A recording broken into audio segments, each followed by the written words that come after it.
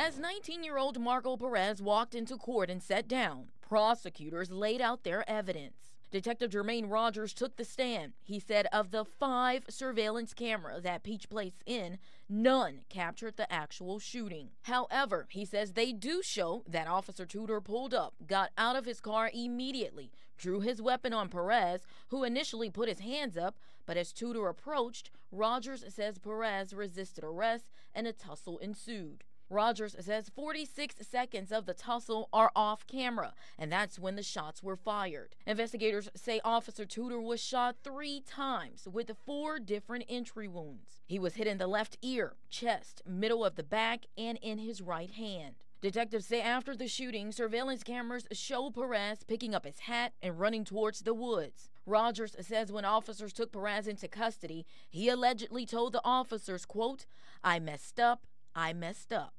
Rogers says Officer Tuder had on plain clothes with his badge on his waist.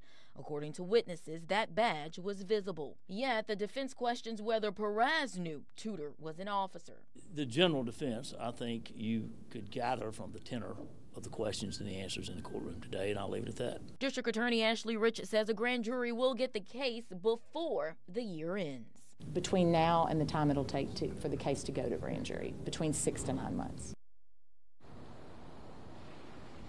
Now, the state has not said yet if it will pursue the death penalty, and right now, tonight, uh, Perez is still in jail with no bond. Reporting live in downtown Mobile, Muriel Bailey, NBC 15 News. Muriel, thanks. Also today, Mobile County Sheriff Sam Cochran revealed new information about the gun used to kill Officer Tuder. As Sheriff Cochran said the gun was stolen, but that theft was never reported.